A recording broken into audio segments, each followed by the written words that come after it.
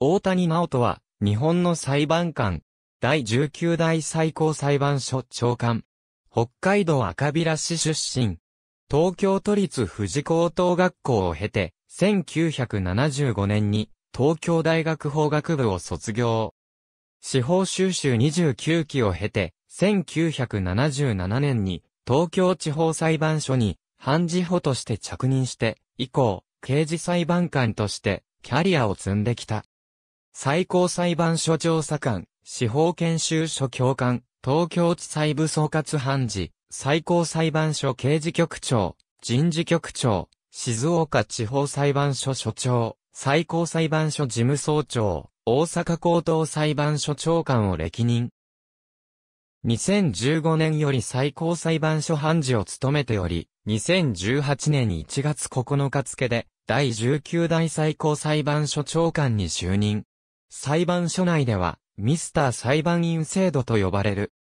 戦後の憲法裁判になる、党の重要な民事訴訟について、判決文を除く裁判記録が、全国の各裁判所で多数廃棄されていた問題が2019年8月に発覚した際には、最高裁長官として2019年11月までに、全国の裁判所に対して、あらゆる民事裁判記録の廃棄の一時停止を通知した。